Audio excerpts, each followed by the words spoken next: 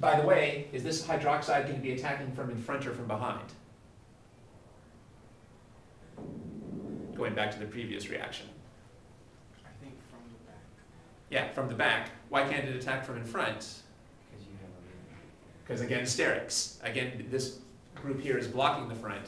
So we would expect this to attack the bottom carbon and to attack from behind. Both of those for sterics reasons. So is this oxygen going to end up on a wedge or a dash? A dash, and what, would, where will this oxygen end up? Sorry? It will remain on the wedge. Yeah, it will remain on the wedge. I'll go ahead and draw that.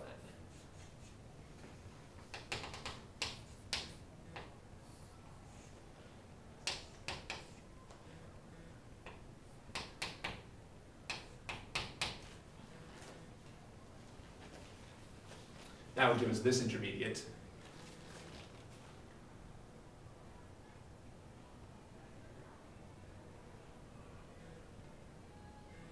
And we know that then this oxygen would protonate from the water. Go ahead and do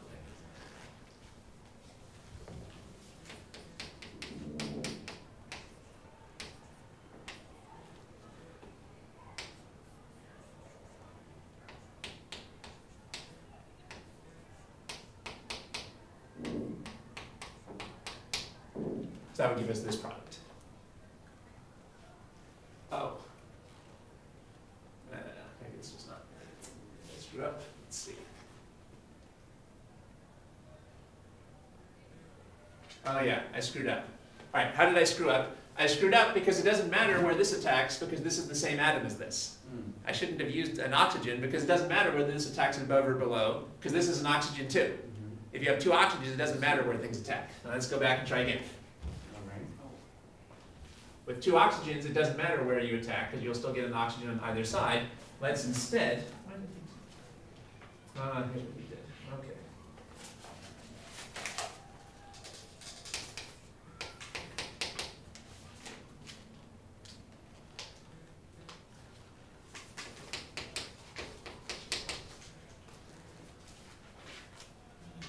Well, I should have drawn it like this then. Let's say we have this nucleophile.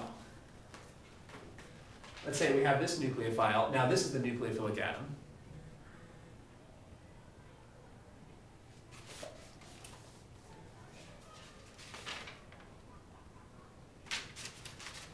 Now, do we expect this to attack the top atom or the bottom atom?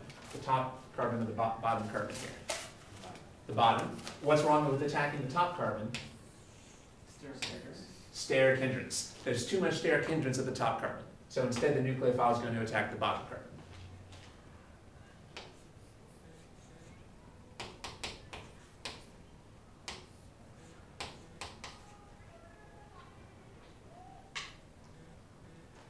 And is the nucleophile going to end up on a wedge or a dash? Dash.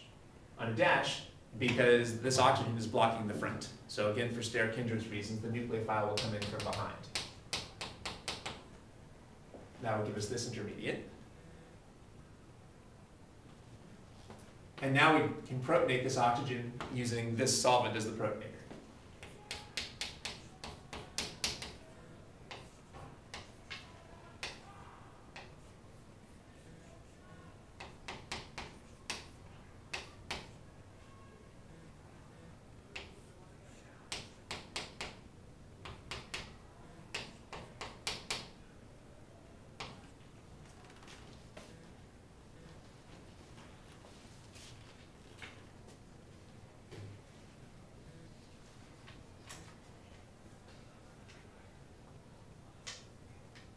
The important factors here are the nucleophile attacked the less hindered carbon, the bottom carbon, because of steric hindrance reasons. It's not going to attack the top carbon because there's more steric hindrance there.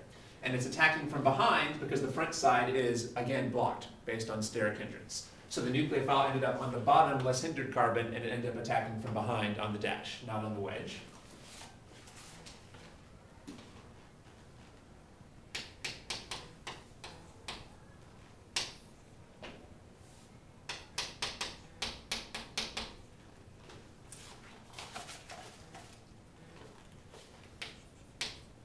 But now let's think about what the reaction is going to look like in this case.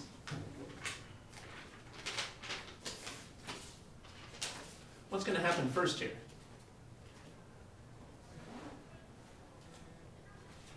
Protonation. We're going to start with protonation. That's right, we're going to protonate this oxygen.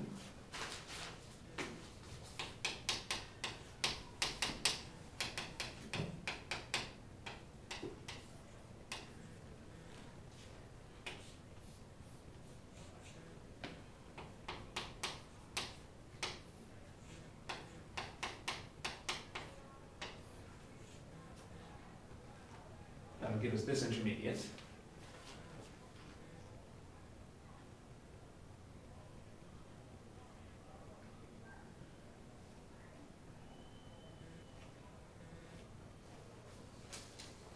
What would we expect to happen now based on what we've already talked about?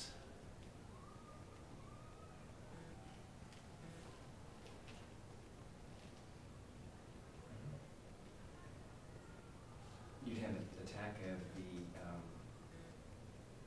of the delta, of the alpha carbon, that's delta. We we expect, and this will be our nucleophile then. We expect to use this as the nucleophile. But who is it going to attack? The top carbon or the bottom carbon? Well, you might think the bottom carbon because of steric hindrance, but now there's another issue because we have this positive charge. And now it turns out that electronics is more important than sterics. So let's see what the importance is here. Now remember that this three-membered ring is very strained. Because this three-membered ring is very strained, it's actually constantly flipping back and forth between being a three-membered ring and not being a three-membered ring. Sometimes this is a three-membered ring, but sometimes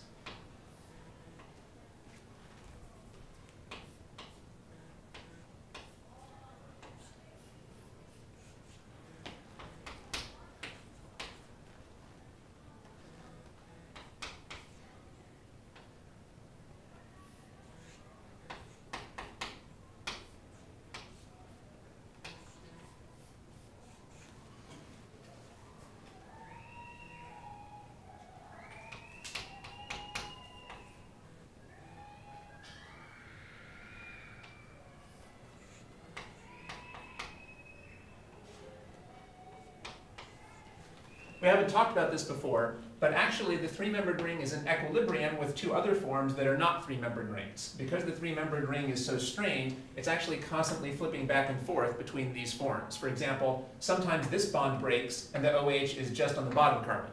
And sometimes the top, uh, the, the bottom bond breaks and the OH is just on the top carbon. That way we get a little relief from all that ring strain. So actually, there's an equilibrium between these three forms. One form where we have a three-membered ring, and then two forms that have carbocations.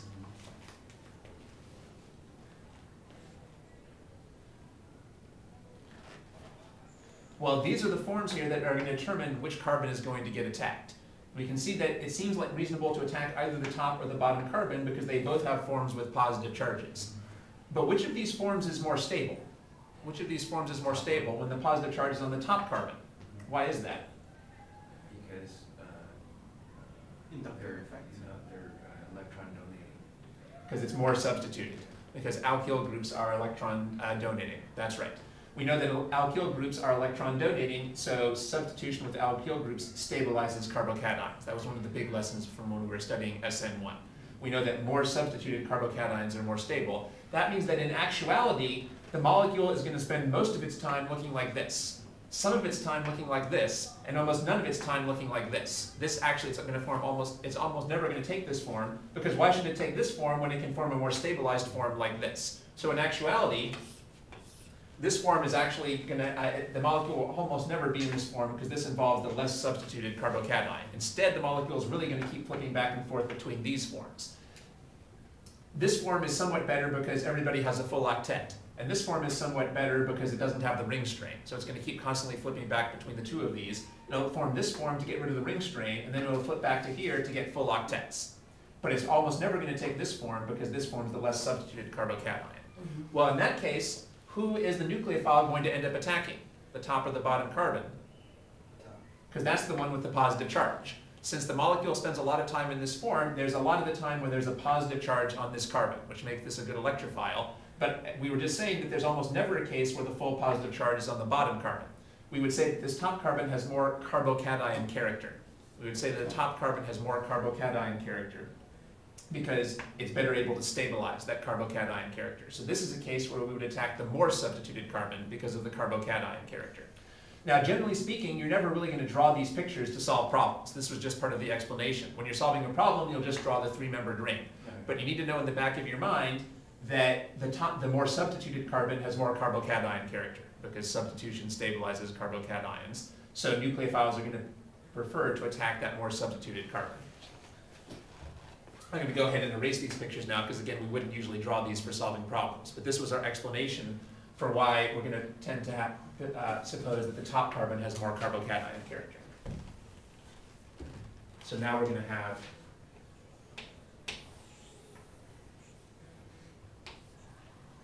this group is going to attack over here.